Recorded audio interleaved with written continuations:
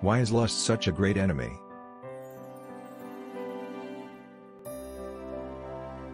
He talks about the difference between purity and lust, and why lust is such a great enemy, because it puts you in bondage to another human body as well as to your own body and it limits your ability to think clearly because you are too much under the influence of attraction and attachment, sense perception, etc., and when there is lust, it blocks your access to God, so then you can't advance.